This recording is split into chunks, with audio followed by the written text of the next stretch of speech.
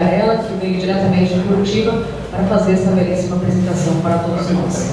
E, de imediato, passamos então à próxima temática do seminário 35 anos da enchente de 1974, convidando para fazer a sua apresentação o doutor em hidrologia Masato Komiama, ele que é da Universidade Federal de Santa Catarina e vai apresentar o tema desastres naturais.